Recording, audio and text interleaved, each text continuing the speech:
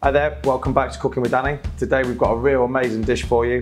It's a real, real super quick and easy one to do. Great one for the family, cooking with, with the kids.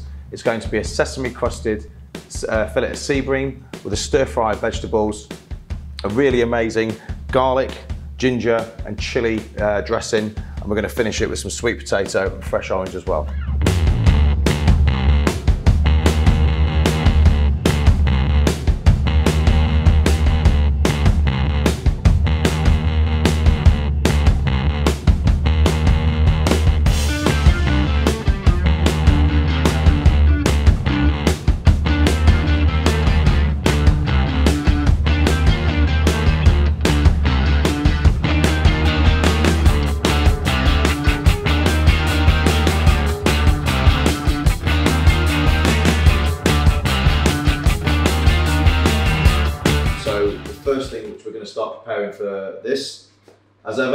My trusty uh, companion Adam. Uh, he's going to just uh, be prepping down all the stir fry vegetables. Now, in the restaurant, we uh, we we cut all the vegetables down to what we call a julienne size, which is uh, basically a posh word for strips. Um, so we're just going to cut down strips of carrot, strips of pepper, courgette, um, red onion, real wonderful uh, leafy green vegetable uh, pak choi, and a real interesting mushroom which is called enoki, which originates from Japan and has just got a real beautiful earthiness and amazing texture as well. You can see that there. Real different, interesting looking mushroom there. So Adam, if you can just uh, cut some beautiful strips of vegetable for us. Yeah. The sweet potato, this is another technique which is really, really, really simple, but it's such a big, makes such a big difference when you're eating, uh, eating sweet potato. Sweet potatoes are ever so rich, super high in really, really good carbohydrates and fiber. Um, so we take our sweet potatoes like this, we literally just dress them in beautiful uh, British rapeseed oil, salt them, and then pop them into tin foil. Wrap them up like a Christmas present, and then just pop them in straight into the oven like that. And they're going to take around 40 minutes to an hour. What happens with that there is it's just going to, because they're being cooked in their skins, none of the flavour of the sweet potato is going to escape and all the goodness is going to be locked into it. It's going to be super tasty. Next, we're going to prepare the fish. We've got beautiful fillets of Cornish sea bream here. These have been filleted for us. If you ever go to your fishmongers or supermarket, I'd always recommend um, asking the fishmonger to fillet the fish for you. Uh, the last thing you want to be doing is pulling guts and chopping off um, uh, fish's heads at home. So we take our fish. We're just going to lightly, lightly season it now. With all fish, I always like to season it about five to 10 minutes before we're gonna cook it. The salt just helps firm the fish up. Sea bream is a super, super, super delicate fish. When it's cooked perfectly, it's super flaky. And the salt's just gonna help, one, draw the best flavor of the fish out possible. And two, just firm it up so that it's not falling apart in the pan for you. On this tray here, we've lightly toasted off some sesame seeds, about five or six minutes, 160 degrees until they're light golden brown, and then just lay the sea bream fillets in there. Just pop them on there ever so gently. You don't have to use any great force. Just lay them on there. Pick them back up. Lay them down again. And just keep doing this until you can't see the skin anymore. This dish is packed super, super, loads and loads and loads of nutrients and vitamins. Sesame seeds are a great source of vitamins as well. And all the beautiful fresh vegetables which are going to be cooked super quick. Over on there, man. Oh, really good, thank you. So while we carry on preparing everything else, we just pop that over here ready to be cooked. Okay.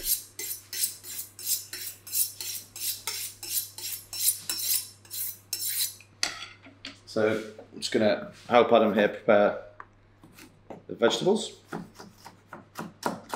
You don't have to cut them into strips. You can cut the vegetables pretty much however you, the way, way you want to really.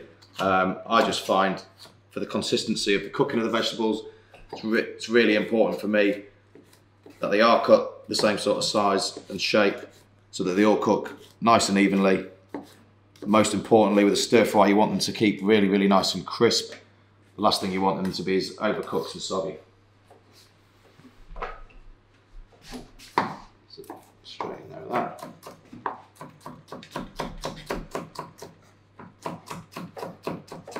Actually got them if you like. With any good stir fry as well, it's always important to use lots and lots and lots of spices, and aromatic vegetables and fruits. So the next stage of the stir fry dish is the, we're going to make our sauce. So into a pan, touch of the rapeseed oil. We're going to take our, this is uh, very similar to a red Thai style paste. So we've got chilies, we've got ginger, garlic, lemongrass, um, and honey. And we've just been blended it into a paste. We're just going to saute that off.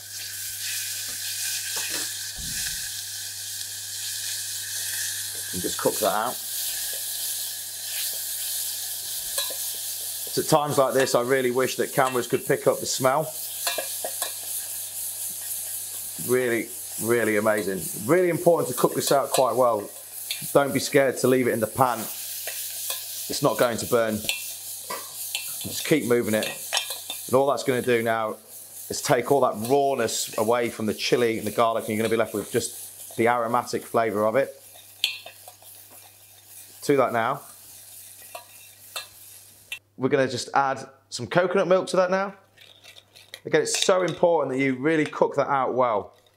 So well that it burns the house down. Um, because it just brings out all the natural sweetness of the chilies, the garlic. You need to cook that raw flavour away. Um, otherwise, you know, you're going to be tasting chili and garlic uh, on your palate um, come bedtime. So once that's cooked out, add your coconut milk. As you can see in this one here, it's starting to look like a beautiful sauce. And I'm also going to add a dash of honey. Counteract all that heat with some sweetness. Pop that back over here on the stove. You just warm that back through. Adam, do you want to have a little taste of that? Make sure you're happy with it, chef. Yes.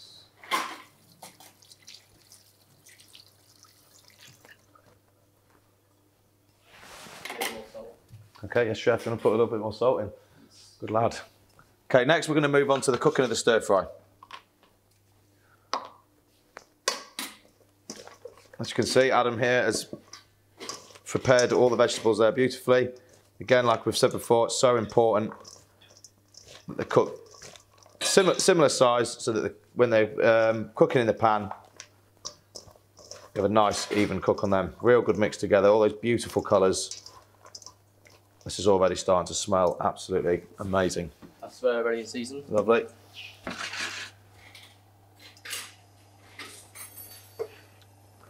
Make a quick point of pointing out this to the fish. That fish there now, it's been sat on there for about five or 10 minutes. As you can see, soaked up all the sesame seeds. That's gonna make a beautiful crust for the fish. And you can just feel by touching that fish there, it's just firmed up ever so slightly and will be ever so easier to uh, handle when cooking. I said take that off now, please, Anne. Yes. Thank you.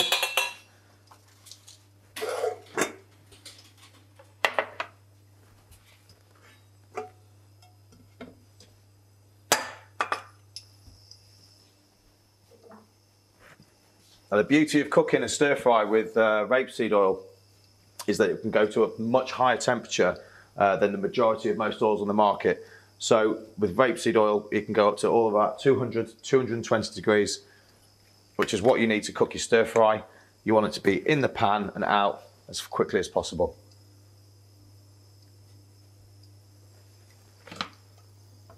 Swap these over here. For the fish, a non-stick pan is essential. Nice bit of oil in the bottom there. And you just want to be able to feel the heat coming off that pan before you add the fish.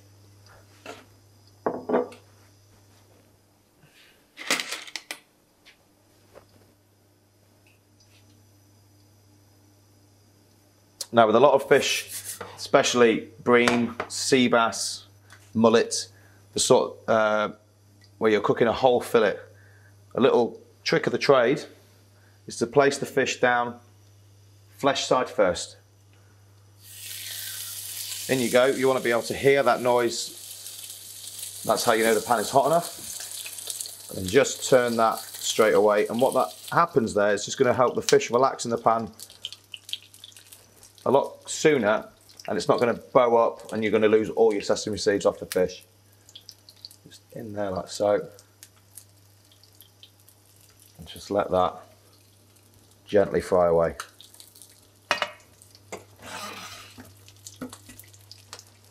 Then onto the stir fry. see the pan's already starting to get smoky. In with the rapeseed oil.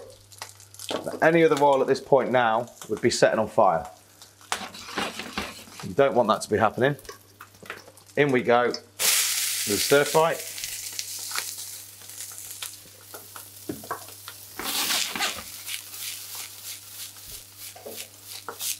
Keep moving it nice and fast. Nice and fast.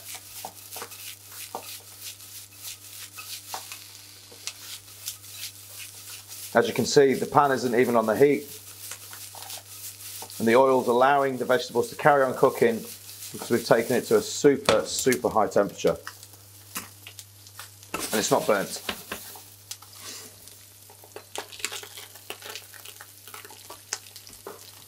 The fish, what we're looking for when we're cooking fish, as soon as that hits the pan, you can see that the, the, the flesh of the fish has gone from translucent to white and all the way around. And as you can see, just the middle bit there now is what needs cooking. So what we're going to do is just place that into the oven, or you could pop it under a, a warm grill for a few moments, just while we finish cooking our stir fry. Light bit of colour on the stir fry. Adam, could you open that one up for me, please? Yep. Little bit of seasoning.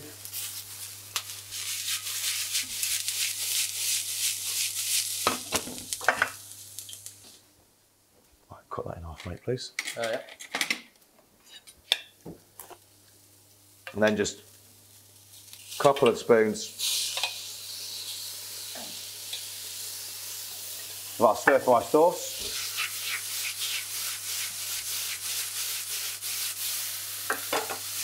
That comes out simple, it's quick and easy as that.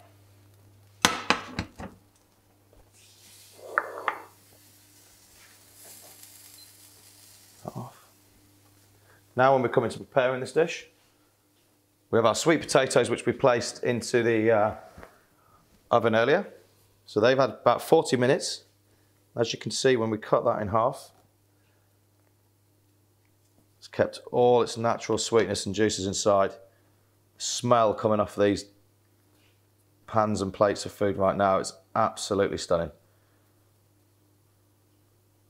This is simple cooking at its best. I'm just going to take a nugget of that, another nugget of that, another nugget of that. Pop that over here. Pass us over some of those uh, shoots down. Yes. Lovely.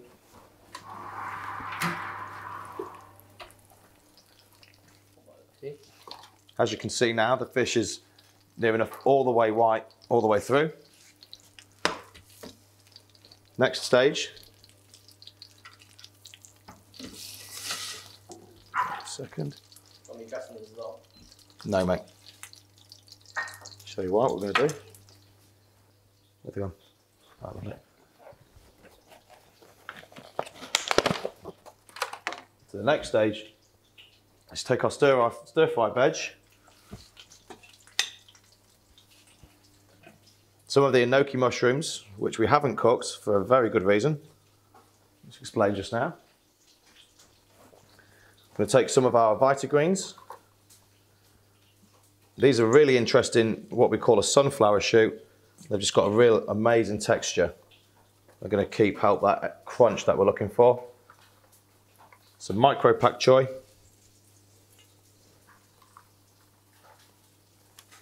And a little bit of micro red cabbage. How's the fish head? Good. Good. So, take your stir fried vegetables. I'm just going to dress this as if you was making a beautiful salad. Some fresh orange. Let's toss all that together. Place all that into a bowl.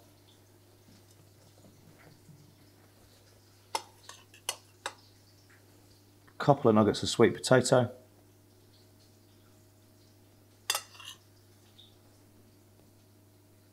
I've opted to use sweet potato rather than a noodle or a rice, just because I think it's a better texture and a little bit more filling and so much more nutritious and better for you.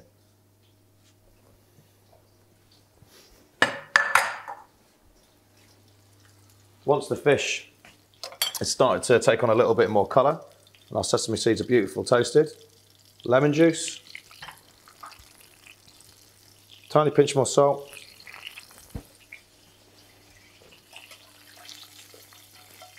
out of the pan. A few more of our sunflower shoots on there. And then just drizzle a little bit more of our stir fry sauce over the top. There we have our stir fried vegetables, sesame crusted sea.